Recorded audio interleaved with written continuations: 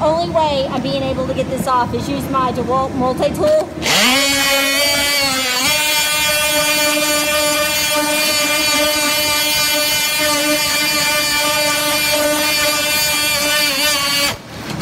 That's what the top of this is looking like. So we're gonna have tons of sanding, tons of extreme body work up here. Lots of holes as I'm going down these edges. Where's my edge? Where's my edge? See how there's where am I not able to? There it is. Just cracks and holes at every single seam. We're gonna have to totally fill all that up.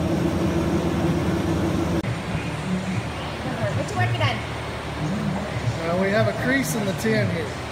It's going over one of the ribs. Normally I would just use a suction cup, pop it back out, tap it around the edges and fix it. But here I've drilled holes, run screws in them. I'm going to use a straight edge and pop them out. That's crazy. What you doing? Still fixing a dent. Still? The one that I made the hole in or a different No, one? no, that's uh, That's fix- over here. I- you did fixed really, really good.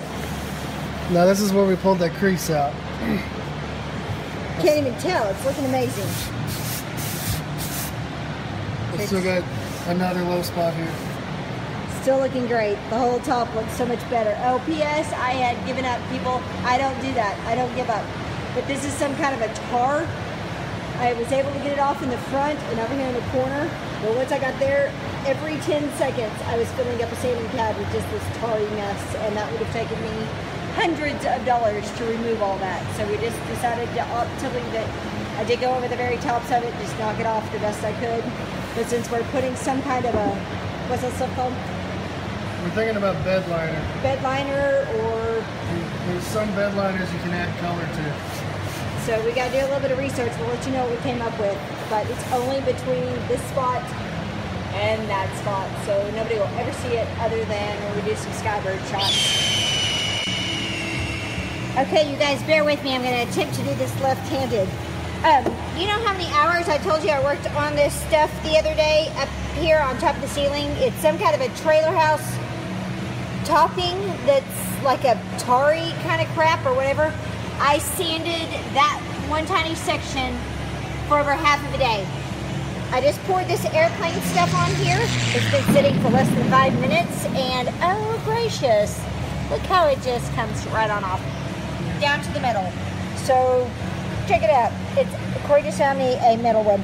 Going through the plastic ones like absolute crazy, but definitely loving the airplane stuff. Just don't get it on you guys. It burns to high health. Anyway, save some time. Do it this way instead. So, it's a little cycle.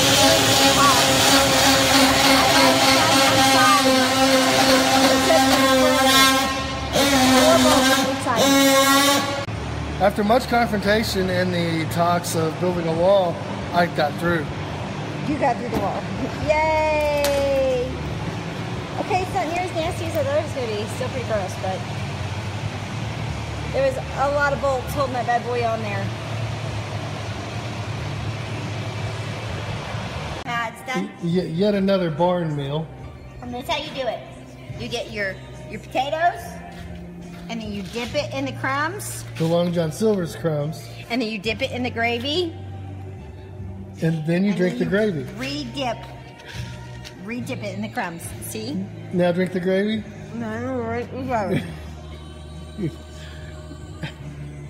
Cartman said so. Nutritious yet filling.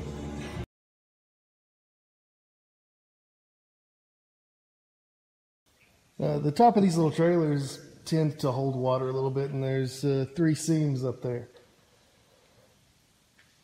Uh, today we're putting this Raptor uh, bedliner kit on the top.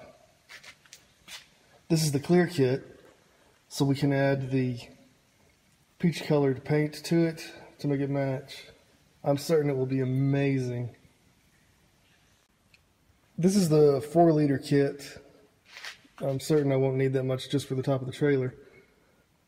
What, uh, I believe you put 15 ounces of your paint, and it's a four to one ratio on the Raptor hardener. Guess you're supposed to mix it in the bottle, but I don't think there's enough room, so I'm going to mix it outside and put it back. And uh, you spray it at uh, 50 to 70 psi, depending on the texture you want.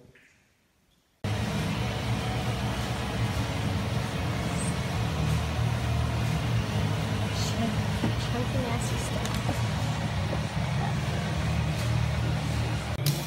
Right, guys, we're about to spray the top with what's called Raptor. The reason we chose this one is it's tintable to the exact same paint color as what's on the rest of the trailer. I want my top knot, which we've used a low profile, to disappear. We're painting it as well. There are so many pinholes up here as you remember as we're painting. Let me see if I can show you a few. See, just as you go along, they're kind of everywhere. So instead of doing all the body work that we can't get to, this is what we've opted for. Also, there was another liner already on it, and the texture is horrendously nasty. We just started. This is what it's looking like. Got a lot of texture to it. It comes with its own little spray gun. It's kind of a rubber sealant. Woo, the color looks awesome! Yay! We've totally taped up the entire trailer. The stuff that's on it, it's going to be a mess. The overspray is nasty.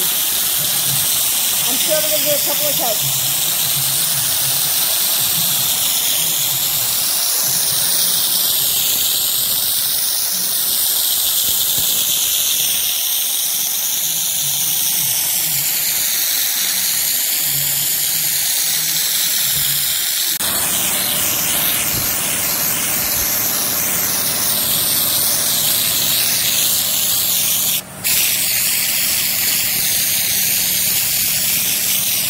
Not bubbles. Disgustingness. But we haven't caught one fly yet. Hey guys, I want to give y'all a total finished product overlook. We'll do it from bird's eye view because that's who's going to be seeing this. Nobody from the ground can actually see it. It has some pros and some cons. The cons are tape, tape, tape, tape, tape. Every entire side, we had splashes and spills all the way to the ground when we did it. So tape the snot out of front, back, corner, side, everything. This is the messiest stuff you've ever messed with. Also, this teeny tiny amount of space literally took him two and a half to three hours to complete to get two two coats and then a half of a coat before we ran out. This was three jugs of it. Um, it has some absolutely wonderful things to it as well. I love that it's tintable and it matches to a T.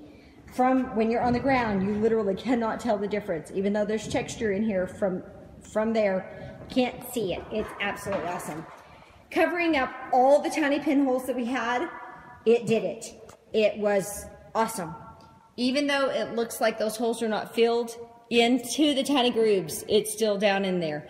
But we went over it and over and over it. You cannot fill them completely. So we are still going to go back and silicone silicone the seams.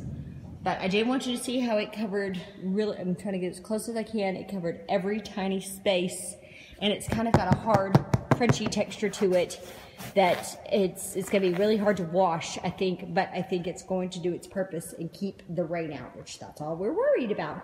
I also sprayed the um, the vent. I did a low profile. I didn't want it to show or stand out really. So we, we sprayed it with it also so that it would blend. And from the ground, looks incredible. I'll show you.